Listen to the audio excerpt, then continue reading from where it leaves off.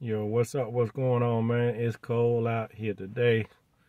Quick check-in, man. A uh, little follow-up from uh, the cowl hood that I had put on. You remember I dropped off the uh, the wing, so the carbon fiber uh, for the wing has come in and got to get my mirrors wrapped. So I'm in route now. Uh, well, actually, in about an hour, I'm en route to go meet up with my my guy to drop the Camaro off to go finish up the work. So y'all stay tuned.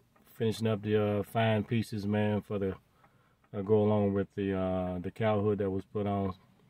So y'all look for that. Uh, give y'all a good shot of that, man. So I'm gonna add that carbon fiber on the mirrors, and then the uh, wing add-on or the extension.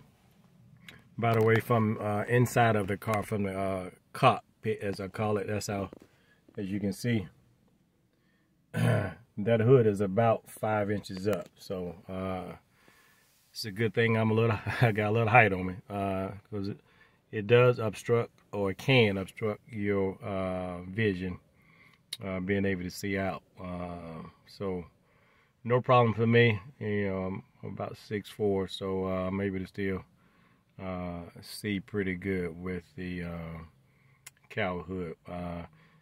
It took some getting used to at first because I can see down inside of the hood as I'm driving there's, there's a little bit of light shaking in the middle of the hood because I guess it's up so high. Um, but so far I'm pleased with it. I'm satisfied. So uh, once I get the finished touches, man, add it on. So we'll definitely uh, get that posted up so you guys can uh, let me know what you think, man. But again, definitely uh, hit that bell.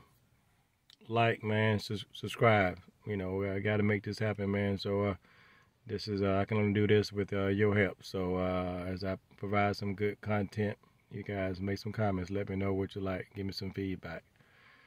Peace. Y'all take care.